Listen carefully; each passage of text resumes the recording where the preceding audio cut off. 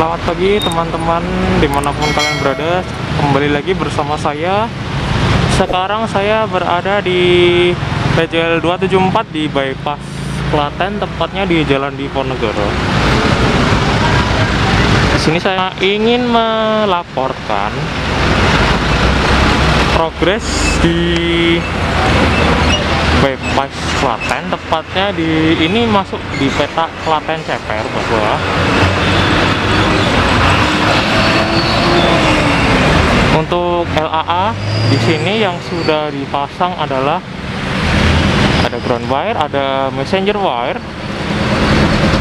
sudah ada cantilever dan di sana ada fitras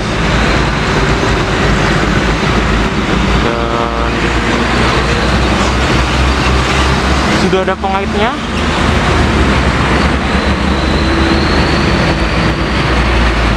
meskipun sudah dipasang messenger wire namun ternyata belum ada insulatornya ya teman-teman.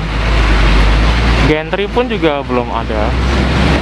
Mungkin karena yang diprioritaskan adalah Klaten Yogyakarta maka untuk petak atau segmen dari Klaten sampai dengan Solo balapan mungkin kesannya progresnya agak sedikit tertinggal ya teman-teman kita akan melihat view dari arah belakang. Ya.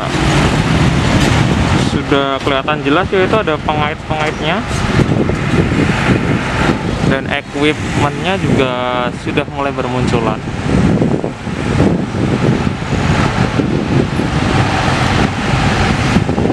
Dan di sini kalau saya melihat-lihat sudah ada penggalian tanah. Mungkin sepertinya untuk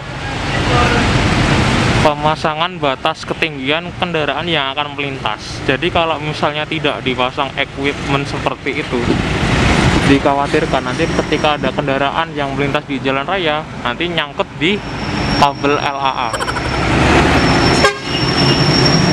Ya seperti inilah suasana di bypass Klaten atau bisa dibilang ini adalah jalan lingkar Klaten yang menghubungkan dari Yogyakarta menuju ke arah Solo.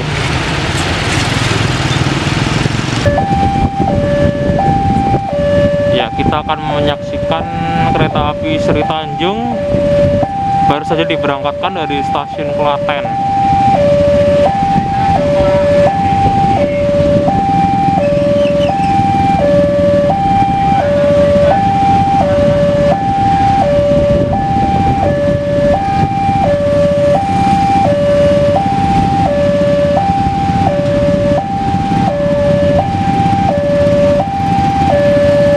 sepertinya bagasi kuning ya guys. Di belakang loko. Ya itu kayaknya bener tuh bagasi kuning